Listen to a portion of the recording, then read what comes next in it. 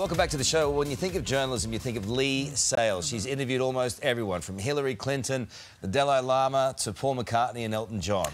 And despite stepping down as host of the ABC 7:30, Leigh isn't slowing down her latest project, giving Aussies a peek behind the curtain of the journalism industry. And we're so pleased to say Leigh Sales joins us now on the couch. How are you, Leigh? I'm great. Thank you so, much for having me see in. You. And thank you for being in my book too. Karl was one of the people I interviewed. Yeah. I don't which know how I got me. to. I don't know how I got to see. Because you're very good at what Oh, you that's do. very Come sweet. on. Leigh. I, I love the the whole reasoning behind it, and it's such an interesting book if you're in the, the Mm. game, but also for those who want to find out what it's like inside Yeah.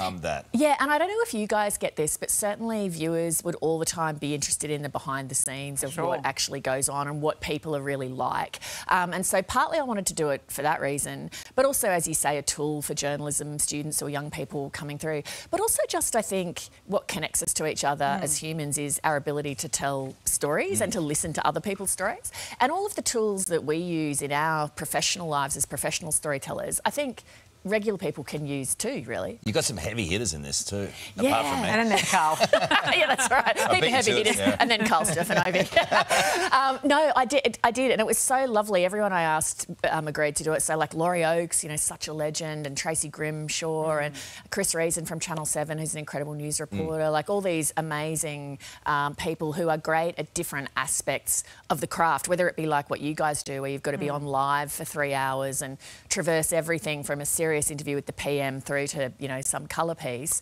right through to investigative journos and mm. camera operators. It's all a diverse array of skills. And and when I was reading the chapter with you, Karl, what was interesting to me is that you can make mistakes along the way, right? I mean, we know he's Oh, made yeah. many. yeah. but the, the reality of what it's actually like as you're learning your trade as well. Well, and as you point out too, I think in yours, Karl, and this is my experience too. Live television and live things, you can only really learn by doing it because you mm. can't replicate the Yeah. adrenaline and the fear even just practicing.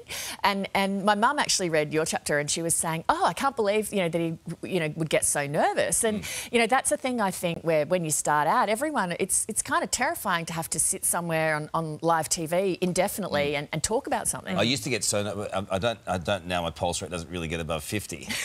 well, that's a lie. Uh, but I remember when I was like, yeah, you know, 19, 20, 21, and in the hmm. early twenties, going to read news in Brisbane on Channel Nine, and it was like the big thing to read oh. news, a- and I was I would be sweating like I was in a sauna. Yeah. Oh. And it's and it's just I think that's in life in general, and people get nervous when they when they present, but mm. to a camera, it's Oh, or the other thing that I remember from when I was a young reporter was the constant fear that you're going to miss something or get Yeah. in trouble, especially when we were overseas. Yeah. Karl and I were based in the US at the same time as foreign correspondents. And so you'd get sent to these places. Like I remember going to do Hurricane Katrina, this huge disaster in New Orleans, and you're thinking, well, what if, what if I can't get a signal out of here? Like I have to be able to file. Yeah. And so you just have this constant fear. Or even to this day, um, I'll think, what if I what if I can't find a story? What if I get some, sent somewhere and can't And find a story? yeah. And then I like kind of slap myself and go, "You've been doing it for 30 years. You know You'll how to find find a story." What are you going to do now? So I'm trying to just decouple myself from the news cycle Mm. after 30 years, which has been great actually. So I'm hosting Australian Story. I've got a podcast about to come out that I'm doing with my very good friend Lisa Millar um, about the ABC TV show The Newsreader. It's like a companion Yeah. for that. Um, and then I just do bits and pieces of different things for ABC News. It's just been really nice. We joke about it, um, says, but uh, we went and covered Guantanamo Bay, Cuba, which was a very big deal to cover. Um, and Leigh, Leigh won a Walkley, and I organised a party. And that's Both of exactly which were very difficult. what I would expect. yeah, exactly. You try organising a party on a remote terrorist Exactly. island in Cuba. Where's the Walkley for that, Leigh? I right? got no recognition.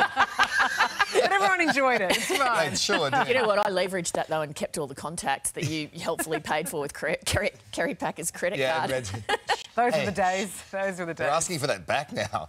Anyway, hey, it's Back great to see you. This is a terrific book. Yeah. Um, Leigh's always a compelling writer, storytellers, and a compiler of great information. Available at all good bookstores. Get out there and read it. It's just terrific. Lovely to see you. Thank Good you. to see you. Leigh. Thank you, Thanks for coming. Hey there, Today fans. Sarah and What's my name again? oh my goodness, Karl. Hey, thanks for watching our YouTube channel, though. Subscribe now for more news, special reports, and amazing Aussie stories. And Karl misbehaving, Whoa, of course. that never happens. always happens. What's she happens. talking about?